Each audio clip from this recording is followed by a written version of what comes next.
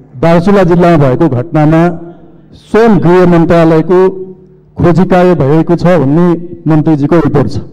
त उहाँले जयसिंह धामीको डेथ बडी भनिसक्नुभयो। के जयसिंह धामीको मृत्यु भइसकेको हो?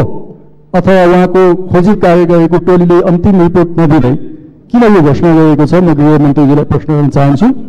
प्राकृतिक विपत्तिमा परेका र घरबार विहीन भएकाहरूलाई पाँच लाख घर निर्माणको निम्ति दिने अघिल्लो सरकारको घोषणा थियो ताप्लेजुङको दोबान बजारमा भएको आगलागीबाट पचास घर जलेका छन् नष्ट भएका छन् र एकहत्तर सालमा ताप्लेजुङकै निकुवा खोला गाउँपालिकामा बाढी पहिरोबाट झन्डै पचास घर नष्ट भएका छन्।